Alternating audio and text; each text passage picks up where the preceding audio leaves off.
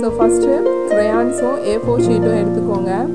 அதில் ஃபஸ்ட்டு ஷீட்டில் மேலேருந்து ஸ்கை ப்ளூ கலரில் நல்லா ஷேட் பண்ணுங்கள் இது எல்லாமே ஷேடிங் தான். வேறு எதுவுமே நீங்கள் கோடோ போடுறதோ எதுவுமே கிடையாது. ஒன்லி ஷேடிங் தான் நம்ம பண்ண போகிறோம் ஸோ ஃபஸ்ட்டு நல்லா டார்க்கு அடுத்து லைட் ப்ளூ கொடுங்க.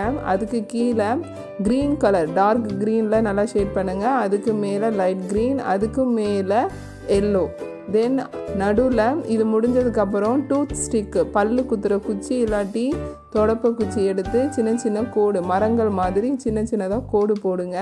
உங்களுக்கு நல்லா தெரியும். அது போட்டதுக்கப்புறம் அதுக்கு கீழே க்ரீன் கலரில் நல்லா ஷேட் பண்ணுங்கள் அதோட ஷேடோ தெரிகிற மாதிரி கீழே இன்னொரு இன்னொரு வாட்டி என்ன செய்கிறேங்க அதுக்கு மேலே டூத் ஸ்டிக் வச்சு ஒரு கோடு போட்டுக்கோங்க. தென் அதுக்கு கீழே லைட் க்ரீன் அதுக்கு கீழே ஸ்கை ப்ளூ ஸோ மேலே க்ளவுட்ஸும் எல் ஒயிட் கலர் க்ரையான்ஸ் யூஸ் பண்ணி நீங்கள் போடணும்.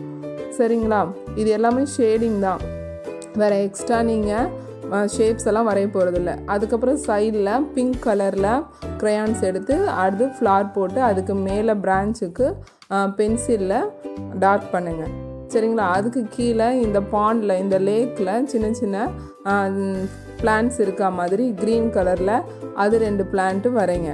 ஸோ ஓகேவா இது பசங்க வரைஞ்ச பிக்சர் ஸோ இப்போ நீங்கள் நான் சொன்னதை இப்போ நீங்கள் வீடியோவாக பாருங்கள் எப்படி ஷேட் பண்ணுறாங்க எப்படி அதை மேலே வரைகிறாங்க கீழே அந்த மரங்கள்லாம் எப்படி போடுறாங்கன்றத பாருங்கள் அது கீழே ஒன்லி ஷேடிங் தான். வேறு எக்ஸ்ட்ரா ஆக்டிவிட்டீஸ் எதுவுமே கிடையாது.